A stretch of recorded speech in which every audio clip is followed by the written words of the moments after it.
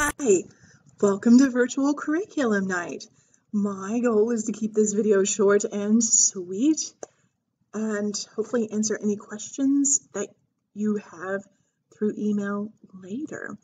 So, I am Sarah Asher, Lady Asher.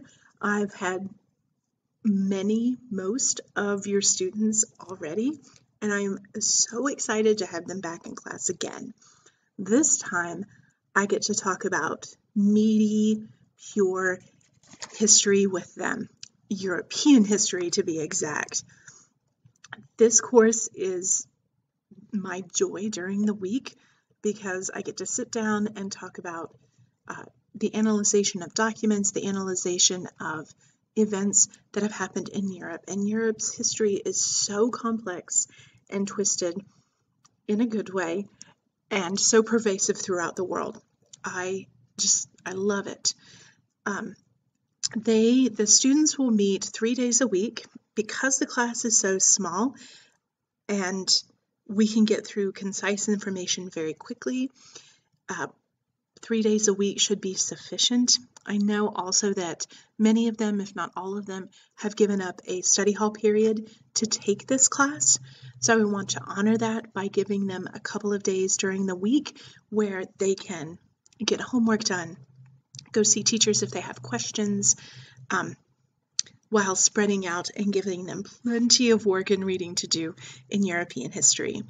So my focus is to have them take the AP uh, exam. I have read AP European history essays for over 10 years. So I always wondered before that, where do these essays go? Who reads these essays? And now for many, many summers, I've read those essays. So I know exactly what the College Board is looking for when they want a really good essay. So if a student decides to take the AP exam, I want them to be as successful as they possibly can be. They choose not to take the AP exam, that's totally fine too. There's a, still a lot to be gained from this class, content wise, uh, writing, historical writing tips, and, and just having a deeper sense of historical knowledge uh, for a region that has influenced so many other regions throughout the world throughout its history. Uh, there is no core reading for this class. I compile everything myself from um, various textbooks. Um, so there's like everything I'm just giving them. There's a lot of writing that goes into this class, a lot of reading. So this is reading and writing intensive. I will give them practice document based questions or DBQs about twice a month, give or take. Tests are um, multiple choice, and those are open note. Um, most of the work is writing work. There are some like worksheets. Um, I will move pretty quickly through this class, so I rely on their uh, student professionalism at this point, and I won't necessarily chase students around asking them to turn in their work.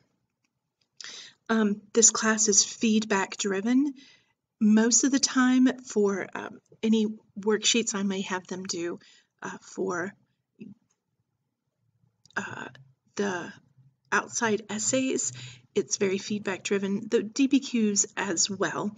I'll grade those pretty uh, rigidly but I'll give them lots of feedback on how to improve. It's all about improving their writing and improving their test taking technique in this class. A lot of teachers don't want to say that they teach to this test, but it forms the basis for this class. So, but they don't have to take that AP College exam. Um, here really quickly, this is what we're going to cover by semester. Like I said, we move pretty quickly in the class and should hopefully hopefully have uh, get to the 20th century by April. Uh, my problem is sometimes I get stuck talking about a subject that I really really like. So, but I have to I have to push myself to keep going. Um, that's about the long and short of honors European history. If you have any questions as a parent about this class, please, please feel free to reach out to me and ask them. I want to be as communicative as I possibly can be. Um, but that's about all I have. I'm so happy to teach this class and I look forward to a really productive and great year. Thank you.